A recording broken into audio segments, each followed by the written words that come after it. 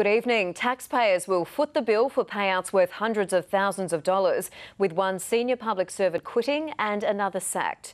Jay Weatherill gave a day's notice before axing the man in charge of the state's biggest projects. A last supper for Rod Hook, lunching with friends and colleagues on North Terrace today after being booted from his high-powered and high-paid government job. I've come in to thank my staff. They're wonderful, and um, things will things will move on. Okay. Until late yesterday, Mr Hook spent more than a decade as Chief Executive of the Transport and Infrastructure Department.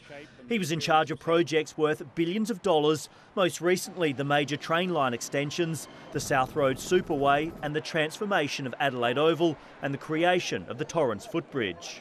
South Australia is a better place because Rod was a public servant, okay? Uh, and I love the bloke.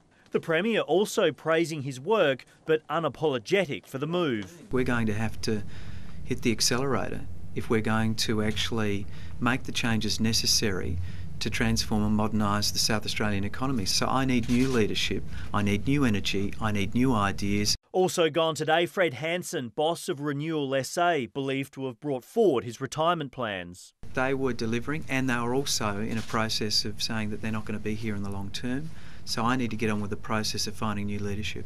Jay Weatherill sending a strong message to all his department chiefs, signalling the clean-out may not be over. I think everybody should be uh, trying to do the best they can every day. These are incredibly highly paid jobs uh, that are about delivering for the taxpayers of South Australia and the community. Mr Hook was on a salary of around $370,000. We're talking hundreds of thousands of dollars uh, to remove a chief executive officer uh, at such short notice.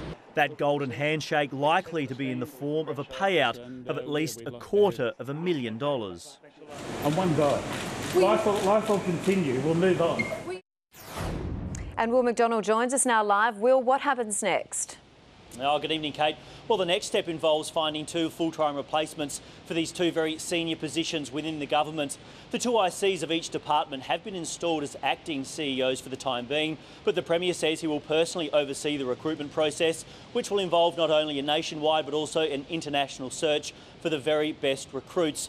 Now, the Premier also says that he doesn't want any yes men or women in these jobs. He's pointed that out very clearly, but he also wants people with bold, fresh ideas and certainly ones that can give complete dedication over the next four years, which is Labor's fourth consecutive term in government. Back to the studio.